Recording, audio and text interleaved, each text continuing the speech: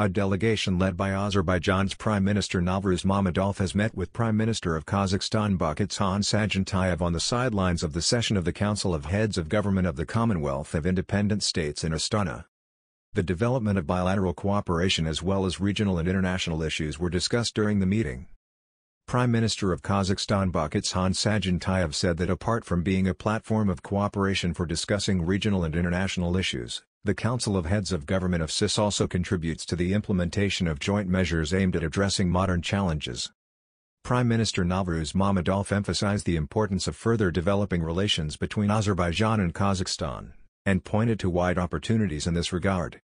Noting that Azerbaijan and Kazakhstan are strategic partners, Prime Minister Novruz Mammadov said, during the Soviet era, leaders of our countries, national leader Heydar Aliyev and Nursultan Nazarbayev, always maintained close cooperation as heads of the two brotherly nations.